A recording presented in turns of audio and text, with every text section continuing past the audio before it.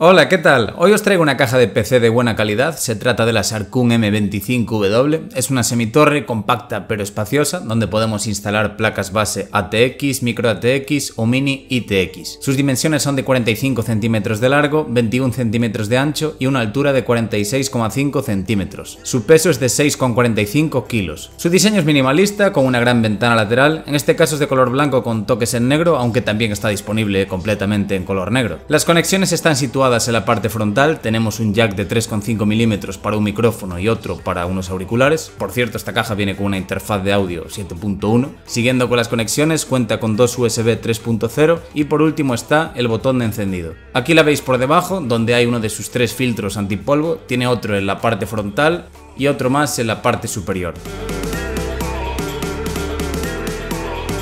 Es metálica, la ventana lateral es de material acrílico y los tornillos son de mano, no hacen falta destornilladores para quitar las tapas laterales. Donde sí hace falta un destornillador es para quitar las bahías de la parte trasera, que tiene 7. Encima de las bahías podemos instalar un ventilador de hasta 120 milímetros, viene con uno de serie con iluminación LED de color azul.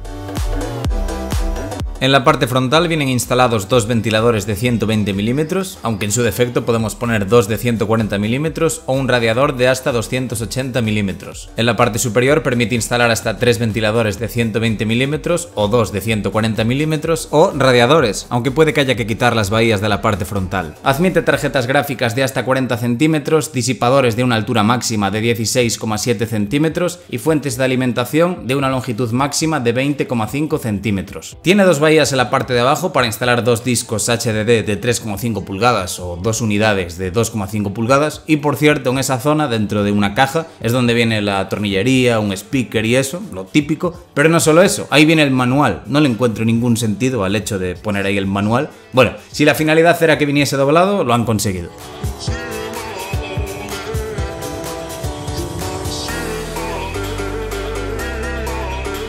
Siguiendo con el tema de las unidades que podemos instalar en esta torre, pues en la cover de la PSU, es decir, en la chapa que cubre la zona de la fuente de alimentación, se pueden instalar dos unidades de 2,5 pulgadas. Podéis poner dos SSD ahí. A la derecha, por la parte de abajo, en la zona de las bahías de 3,5 pulgadas, se puede poner un ventilador también. En la parte frontal tenemos dos bahías de 5,25 pulgadas para lectores de DVD, de Blu-ray, lectores de tarjetas y demás, aunque una de esas bahías es convertible para poder poner unidades de 3,5 pulgadas. Y Viendo esta zona podéis deducir que se pueden instalar dos unidades de 2,5 pulgadas, aunque estas piezas son para el PSU Cover. Ahora voy a daros mi opinión, creo que es una semitorre muy completa y de buena calidad, y más teniendo en cuenta su precio recomendado, que es de unos 55 euros. Si estáis buscando una caja de PC que sea una semitorre con un diseño minimalista y bastante elegante, diría yo, donde el montaje de un PC quede limpio y ordenado, este gabinete es una buena opción. Espero traer más cajas de PC al canal, por si estáis buscando una, poder mostraros opciones para todos los gustos y orientaros poco a elegir la que será la vuestra. Y eso es todo, espero que os haya gustado y a los suscriptores deciros que si queréis estar al tanto de los vídeos que vaya subiendo, dadle a la campanita que hay al lado del botón de suscribirse y activad las notificaciones. Nada más, hasta el siguiente vídeo.